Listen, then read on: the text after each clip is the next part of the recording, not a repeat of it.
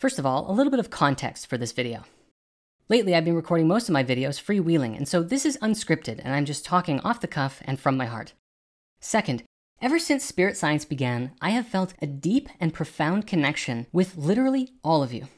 What I mean by this is, whenever I publish a video about any particular subject, following that video's release, I often find that I learn exponentially more about that subject, which I attribute to our collective consciousness working together throughout time and space. As each new video comes out, the collective mind watches it and thinks about it and digests and contemplates these ideas. And many of those reverberations in the field make their way back to me and it helps me to learn more too.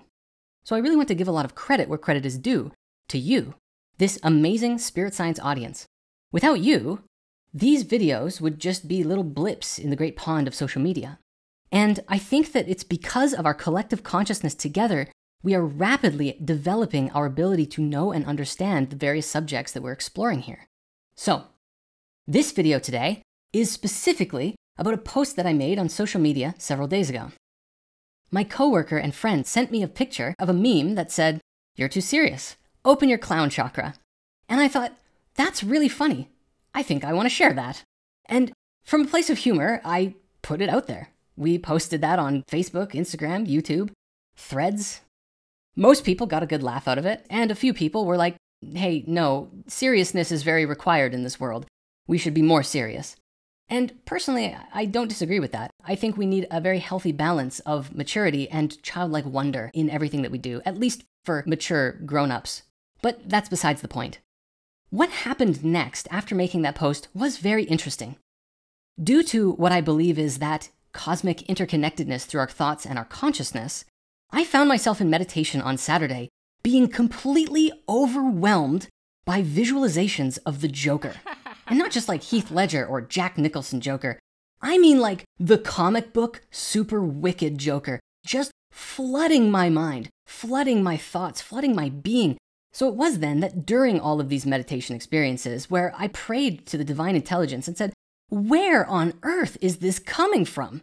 And I received without a shadow of a doubt this very clear message. You told people to open up their clown chakra.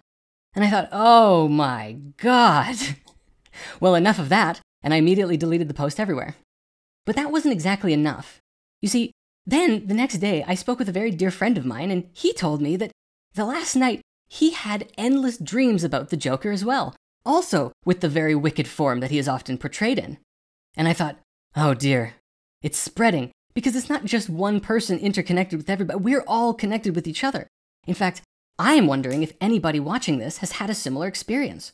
And if you had, please put it in the comments. That would be wild. I personally kind of don't think that would be the case, but honestly, at this point, I wouldn't be surprised. And so, with all of that said, don't open the clown chakra, close it down, and do your best to embody the qualities of truth, love, and authenticity.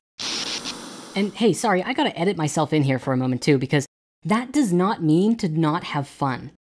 We can have fun, we can play, we can be jovial, we can be childlike. Perhaps it is then that the idea of the clown chakra genuinely is imitating something that you're not in order to get a laugh or create a reaction in someone else. It's literally like a chaotic disorganization of energy. But honestly, I don't really know. I just know the experience that I had and this thing that started as a funny pun ended up being like a really serious lesson. Anyways, back to the original recording. I have to say, following the video that I posted yesterday, Patchman's important message, some people did comment, you know, this is good, but it's a little lovey-dovey. There are evil forces in the world, you know. And also, once again, I don't disagree. There are evil forces in the world. And the best thing that we can do about them is stand up against them by embodying the light of our soul, which is of course what that video was ultimately all about. And so with that, I'm going to end this message and say thank you for being a part of this learning journey with me. As always, it is an honor to share on this adventure, and I cannot wait to see you in the next video. Oh, and before I forget, if you need even more assistance in destroying evil, please join us for the live event, the renewal of the 12D Shield guided meditation taking place on February 5th in Spirit Mysteries. We have a link in the description that you can join, the event is set to make an offering. You can come in at whatever level you want. The most important thing is that you show up. If you do contribute, thank you very much. It helps so much more than you know right now. You have all of my love, and I'll see you in the next video.